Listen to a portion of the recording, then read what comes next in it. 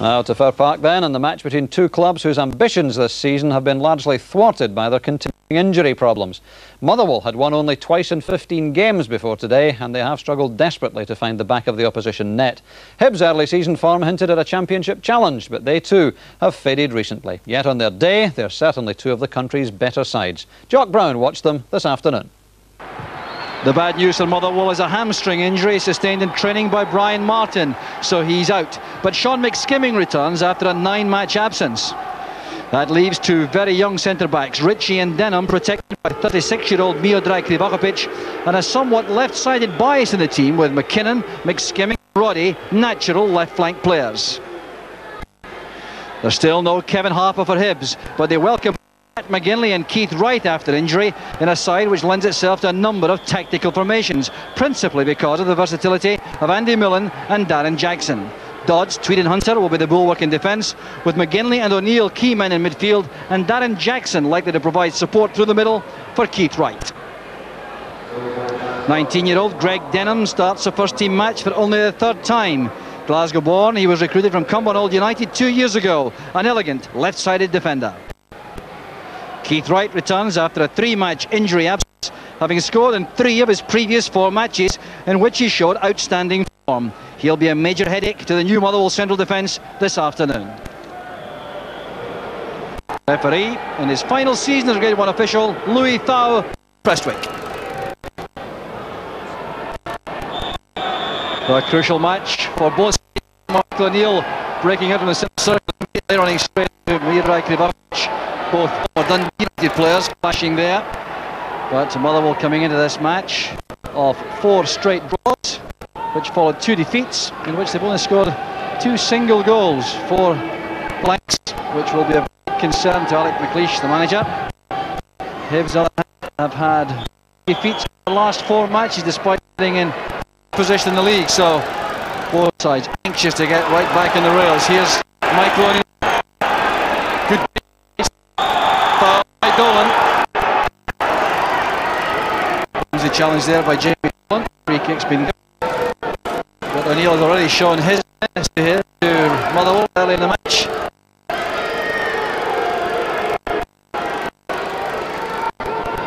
So Louis Thow taking charge there, quickly on the scene.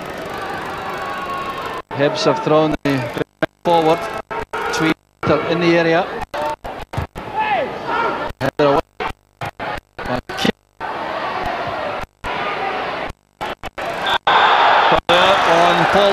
Chris Jackson.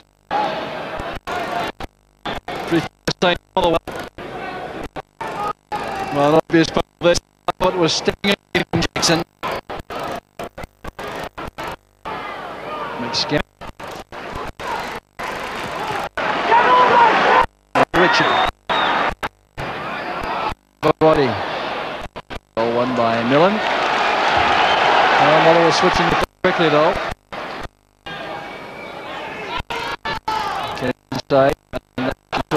Controlled by McGinlay. Again did well uh, and the steer across there right. And helps it on. McGinlay is O'Neill. Right him. Jackson to the left. That's a good effort by still scored Howie off his arm try the chip shot, but the young keeper is very able indeed. Hard to chip. The pass that came from Michael O'Neill. You can see Keith Wright attention. The keeper behind.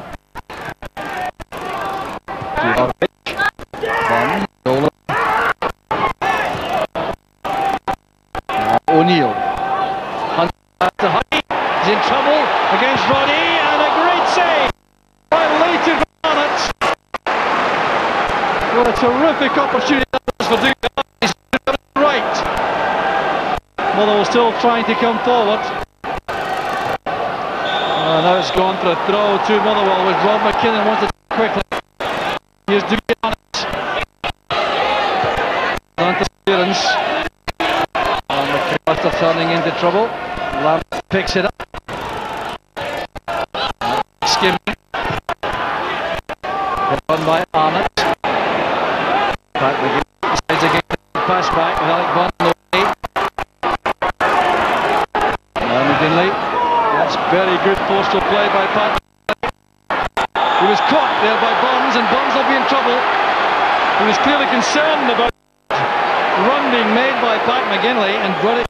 The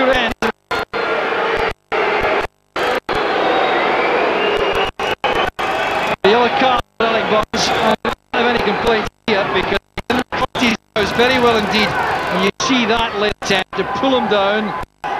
They promising for Hibs. So what can Hibs do with this? Very close to Howie. That's a very good catch.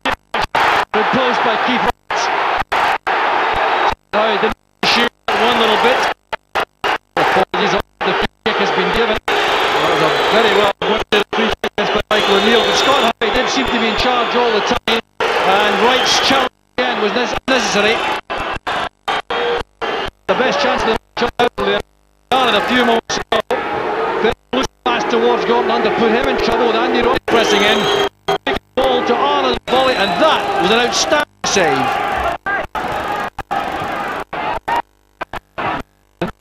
To Roddie. This is Jackson. Into space for Keith Wright. This is played by Hibs. Cheat uh, very close to Keith Wright. Put him under pressure. The in the end was not really trouble. But I bet you Keith Wright wanted this in his left foot. Ritchie did well though. This is Michael O'Neill. And now McGinlay. That's good play. Looking much more like himself again this afternoon. Tweed towards Jackson. Good dummy. This is McAllister in a. Surviving appeal handball. It didn't matter in the end. A Very good dummy by Darren Jackson. Gave the opportunity for the ball to reach Kevin McAllister. He was off balance. Now Darren Jackson playing right through the middle for Hibs. This is Lambert. Big space himself so effectively. Big skimming takes over. Now McKinnon. Inside is Roddie. That's McKinnon again. And another good ball into the box. Only Arnott and Bonds in there, and neither could get on the end of that. Excellent ball from Rob McKinnon. Lambert again. Now Roddie's header on net by Tweed. Dolan again, linking with Bonds. This is Arnott. Oh, he's done well. And turned behind it was Jamie Dolan forward. That's very good positive midfield play by Dolan. Supporting this bit of play by Dougie Arnott. Now this was positive too, making him the ball and inviting a rash tackle which didn't arrive. And Dolan getting out of that.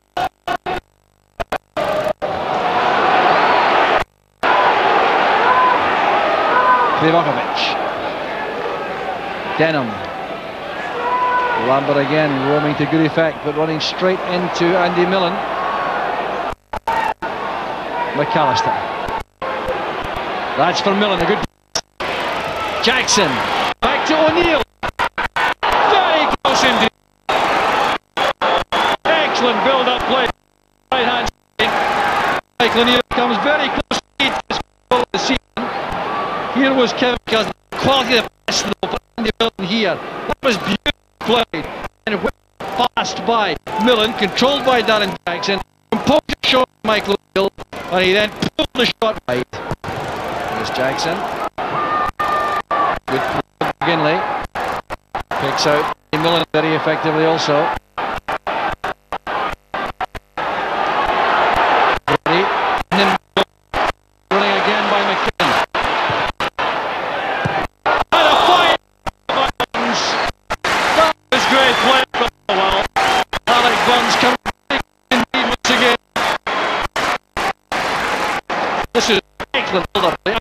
contribution important before the ball reached Rob McKinnon here.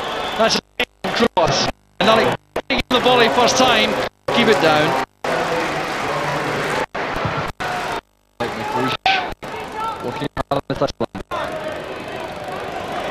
Hendry. Taken into the play by Hunter.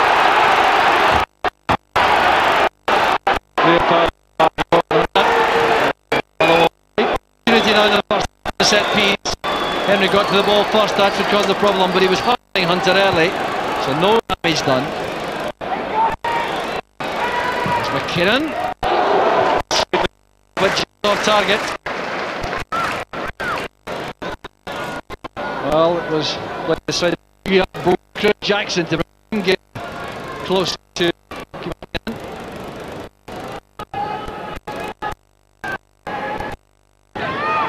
So this may well be the last kick of the first half. It is. The sides remain even. That's about in the balance of the first half play. Clayton has pulled one miraculous save from Dougie Arnott. But at the other end, Michael O'Neill had a great chance when he pulled the ball wide from 10 yards over the piece. Honours just about even. It's Motherwell nil.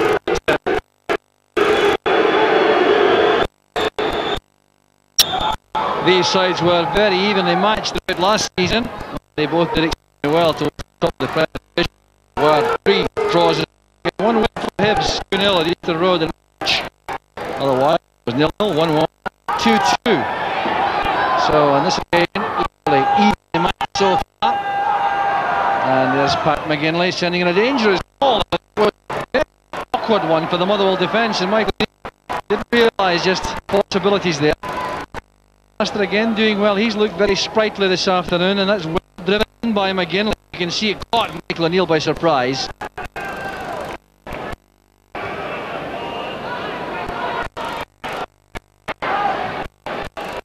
This is Kevin McAllister. O'Neill. Just Keith Wright. That's awkward. The chance.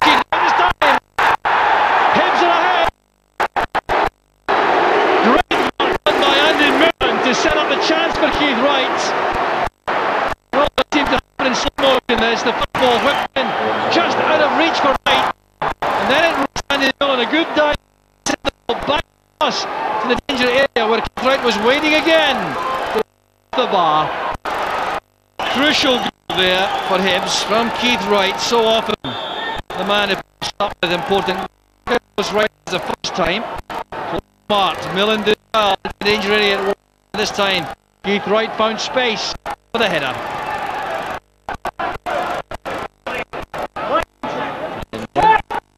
Up the line. There's there. Greg Denham. Uh, McGinlay. Jackson. Good play. Millen. It's looking better and better now suddenly. And a very good on the run there by Keith Wright. Hibs now looking very menacing indeed. Well, this is ominous now, Motherwell, the way they're being carved open so easily suddenly. It was excellent play though. Good passing here. McGinlay. McAllister. Darren Jackson, a great reverse pass, but Andy Millen's run. Uh, cross for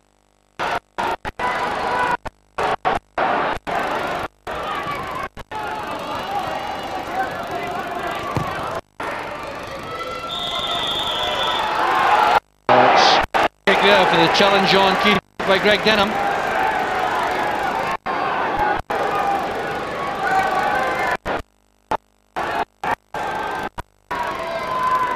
Changes feet here, and he's capable of foot. That's a. Dangerous one, and just over the top. Dan Dodds, so close to goal number two.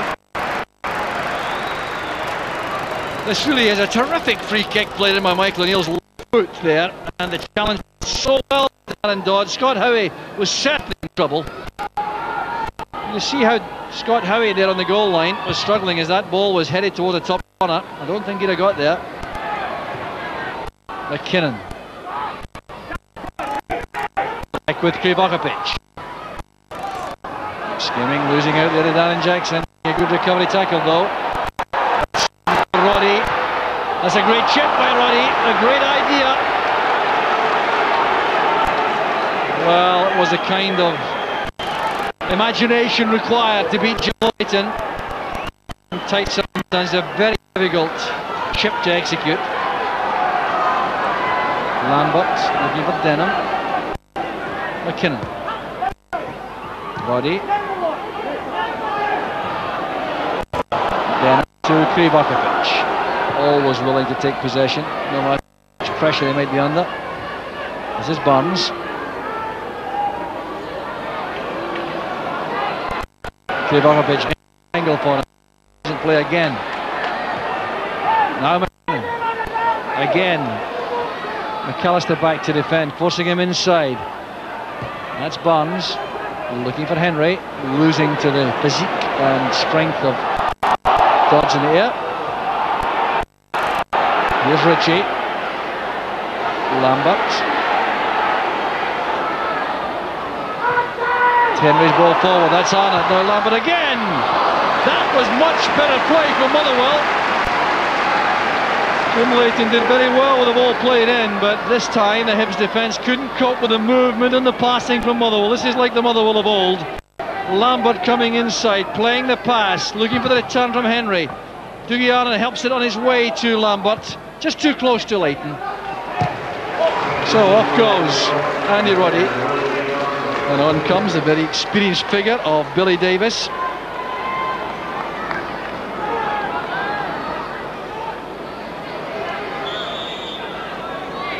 So he goes into central midfield. I think Sean McSkimming will step further left now. That's McSkimming. It's back now with Denham.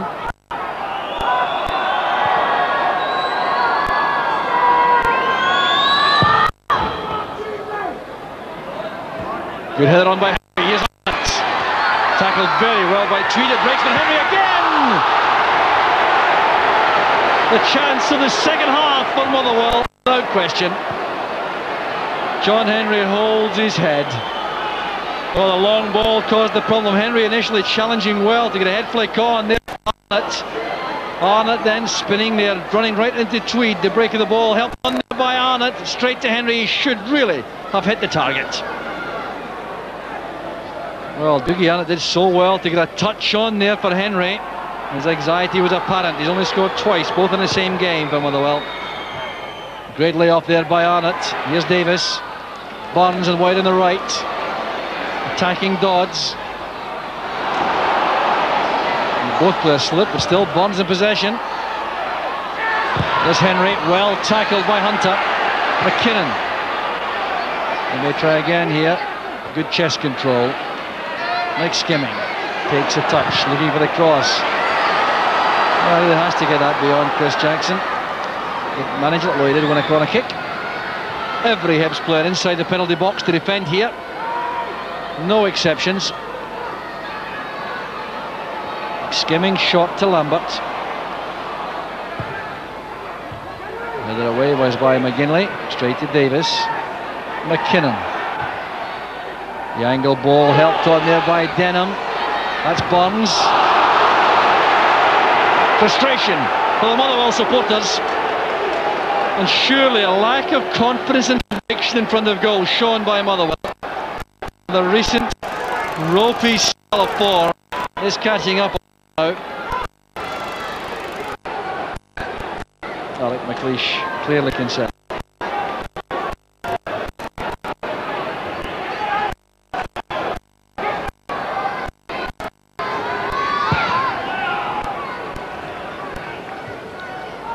Ritchie got to that but couldn't direct the header the way he wanted, so it is a throw to Hibs. Pressure building up from Motherwell would have to be very alert though because Hibs are lethal on the counter attack. So much pace up. Michael O'Neill holding off that shot. It's a good ball in. There's Keith Wright! The second for surely the goal. The Hibs supporters celebrate. And yet again, Hibs showing their menace on the break. That really was excellent play. Darren Dodds the pass. Look at the way Michael O'Neill held off Krivokapic and then picked out this pass to Keith Wright, who's so deadly in that position. Still defenders. Not good enough marking, but excellent play from Hibs nevertheless. And Michael O'Neill delivers a superb cross. Keith Wright can't believe the space he has but Hibs are two in front. Well, there is the Motherwell normal central defence. Martin, Philliben and McCart could all be out there in central defence.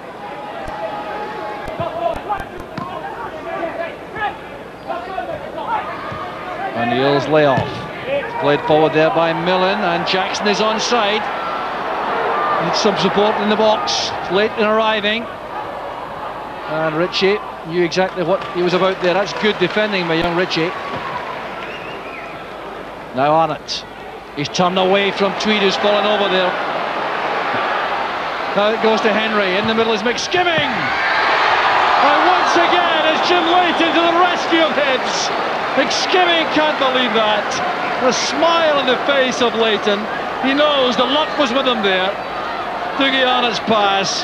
Hendry laid that on a plate for McSkimming and Jim Leighton didn't know much about that. Good goalkeepers require some good fortune. Lambert. And Leighton's in trouble there. Billy Davies going for the spectacular finish.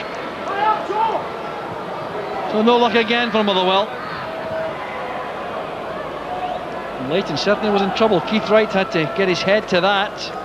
And then the first time volley sailing over the top.